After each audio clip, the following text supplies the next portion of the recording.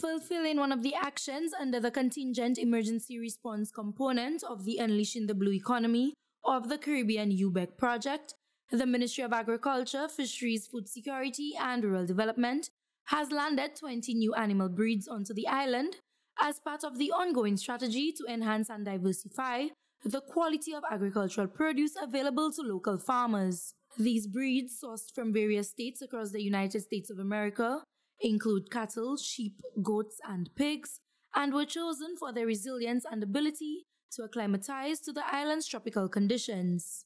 The animals are currently housed at the newly established Vollet station in Micoud, which will serve as a hub for their adaptation and eventual distribution to farmers across the island.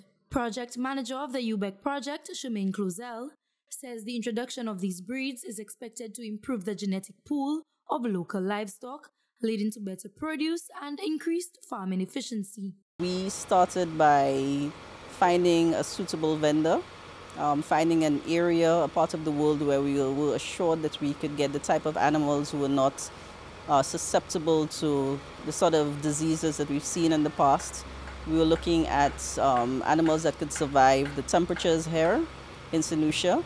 So we eventually found a, a, a ranch in the US that provided support. They were able to identify um, pigs, cattle, sheep, and goats and help our own team to visit these farms, identify them, pick them out, um, house them in quarantine for a while before they were eventually brought to St. Lucia.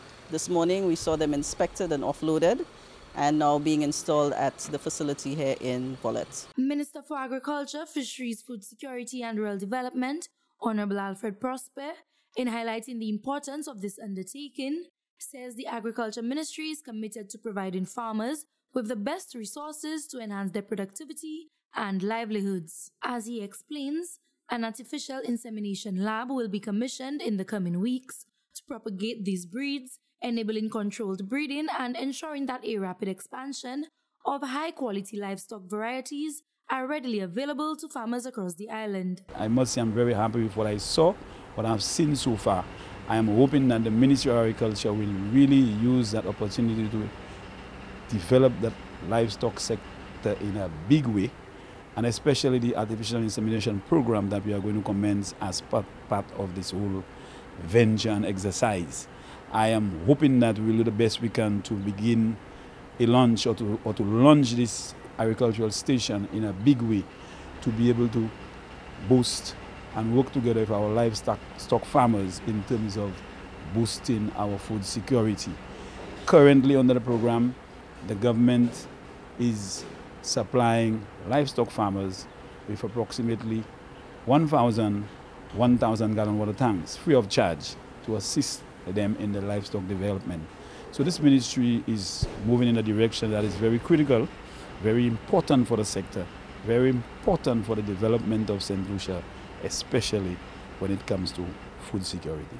This week's introduction of 20 quality breeds into the local livestock subsector underscores the importance the Agriculture Ministry has placed on establishing productivity as the industry modernizes. From the Communications Unit of the Ministry of Agriculture, I am Anicia Antoine reporting.